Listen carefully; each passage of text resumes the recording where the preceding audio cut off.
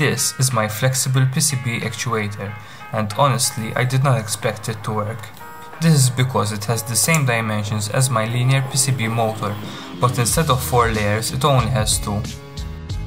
I had to reduce this layer count because 4 layer flexible PCBs are way too more expensive. So I took the risk and reduced the number of turns by half, hoping that the coils would not overheat. The thinner dielectric of the flexible PCB also helps improve the coupling of the magnetic field.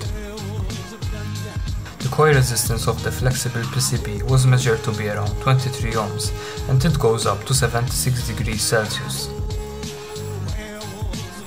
The coil's magnetic field can hold 5 of these tiny magnets which in total weigh 1.5 grams. The maximum repulsion distance was measured to be around 15 mm, but obviously this depends on the position of the coil and the size of the magnetic field.